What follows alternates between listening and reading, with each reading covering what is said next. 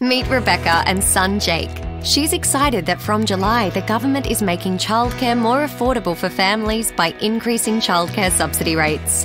A single mum, Rebecca works part time and earns $75,000 a year and sends Jake to childcare four days a week.